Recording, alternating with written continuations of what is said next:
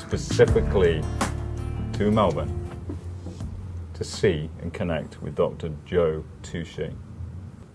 Why have you spent a large chunk of your life protecting children? Well, that's a good question, David. Um, I think that children deserve protection, that deep down there's a small child in all of us that would like to be protected and would like to be safe. And I think that unless we're able to, as a community, embrace children and ensure their protection, we're not giving them the kind of platform, the, the environment from which to grow. Um, a lot of the problems that we as a community face um, can arise out of children whose experience of their early life isn't positive, isn't it's harmful, it's abusive, it's disrespectful, and I think if we don't get to the heart of being able to to um, engage a community to support children more in that way, then we're we're making problems for ourselves. Mm.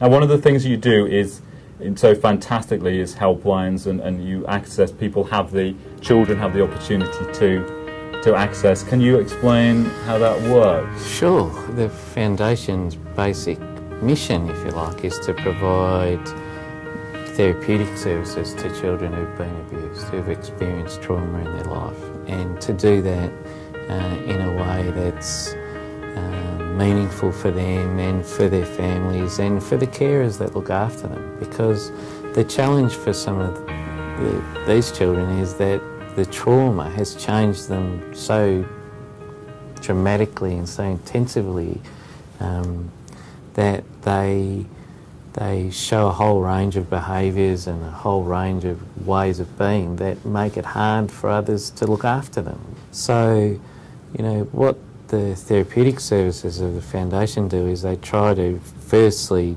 help children themselves, then um, provide some therapeutic input for the families, and then, if necessary, move it out in concentric circles into the communities that children live and play and learn in. You know, for me, I know you've collaborated with the NSPCC, um, and wonderful to see because this cross pollination, when we share our gifts across the world, mm. magic does happen. Mm. And we all have great gifts to bring to the table, and they're all different. Mm.